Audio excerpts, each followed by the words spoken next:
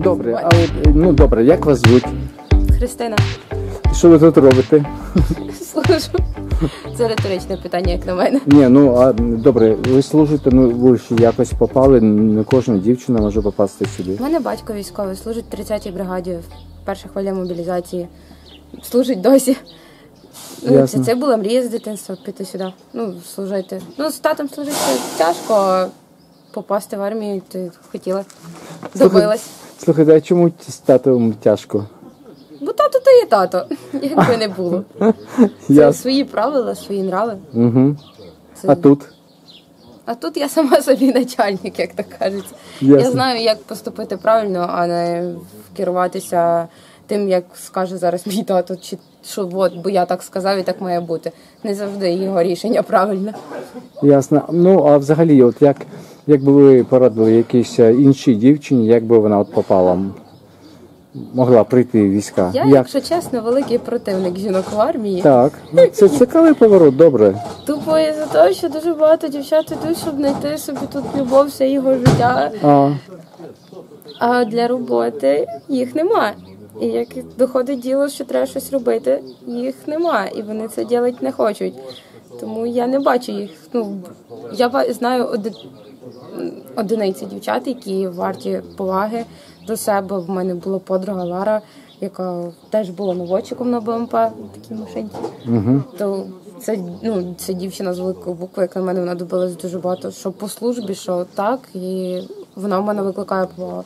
А є дівчата, які просто сидять і думають, де ж якби пошвидше їй жениться, і куди би їй поїхати, а до роботи її взагалі нема, то дійсно в мене такі люди поваги не викликають. Я кажу, знаю тільки одиниці дівчат, які в мене дійсно заслужили повагу до себе.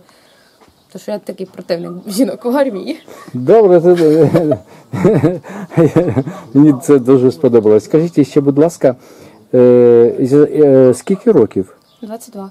22 роки. І скільки ви вже в армії? 4 роки. 4 роки. Тобто ви прийшли в армію 18, 18 років. Здорово. А з, е, з якого з якого ви с- е, міста? Е, родом сама Санкт-Петербурга. О, ви там народились просто. Та ну, дитинство там. Угу. Потім в школу вже пішла от на Україні, Львівська область, місто Кам'янка-Бузька. Тобто, в мене мама звідси, і от приїхали до бабусі, ми в бабусі трохи жили. Ну, Ну, тобто да. вже тепер звідси, з Львова, скажімо так. Ясно. Ну, і що б ви хотіли сказати ще? Самі по собі, що б хотіли сказати глядачі, глядачам, наприклад. Це буде для інтернету. Фільм Чесно? такий. Угу.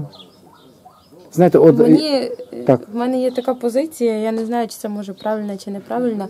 Я не підтримую людей, які кажуть, що в нас немає війни, що їм це надоїло. Як може надоїти те, що вони не бачили? Це неправильно. Вони не бачать, вони не розуміють хлопців, які приїжджають за не АТО, в яких посттравматичний синдром. Це дуже важко зрозуміти, навіть змиритися з тим, що тут зовсім інше. У мене, наприклад, ситуація особисто зі мною на цей новий рік сталася. Я ну не дуже великий прихильник свят таких. Угу. І от приїхала до рідних додому, і ми пішли от під ялинку, і хлопці, та й дорослі чоловіки сидять, граються петардами з салютами, кидають під ноги. У мене три рази така паніка була, що передати словами не могла.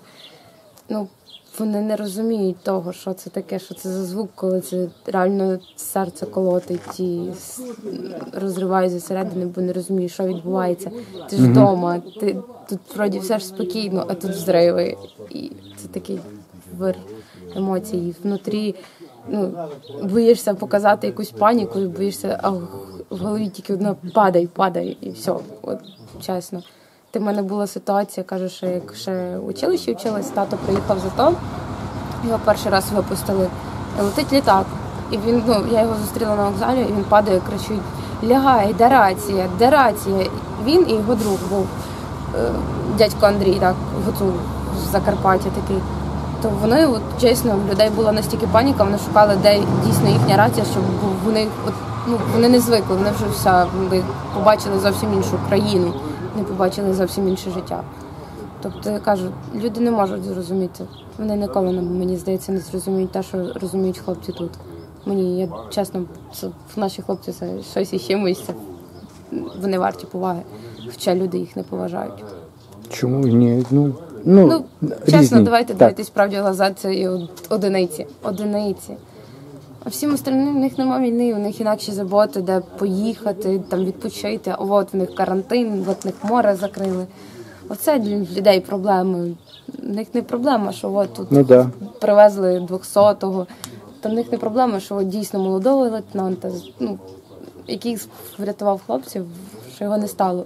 Що молодий хлопець, якому ще жити і жити, ну, він ще нічого не бачив.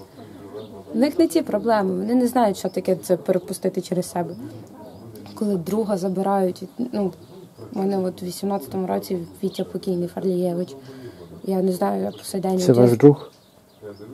ну, це вони підірвались на міні, це кажу, там дуже багато з ним дружини. Він був, він механік був від Бога. От там машина, він міг машину ніколи не бачити, вона в нього швидко ремонтувалася. Ну, це був дуже струкий хлопець. Я не знаю, з його смерті дуже довго смирилася. Ну, ну, я навіть, якщо чесно, напевно, і навіть досі не змирилась. Ну, люди цього ж не розуміють. Для них інакші пріоритети в житті. Вони шукають інакше, вони шукають, де їм більше заплатять, де їм буде добре, де їм буде краще. Ну, вони не думають, що тут. Вони не знають. Чесно кажучи, навіть дивишся фільми.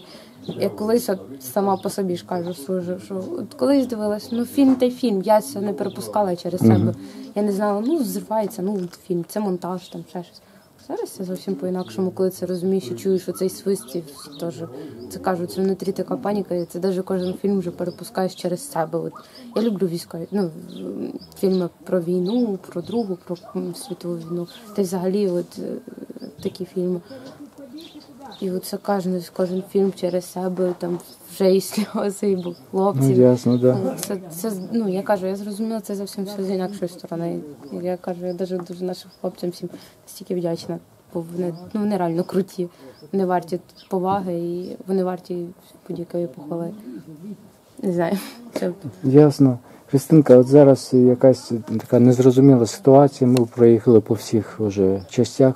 Як нам сказали, забирають важку зброю, ви залишаєтесь ні з чим. Ну нам лячно за вас, розумієте? Може це дезінформація, я не знаю. Ну пок- поки що така новина у нас, розумієш? Ну, нам теж таку інформацію давали.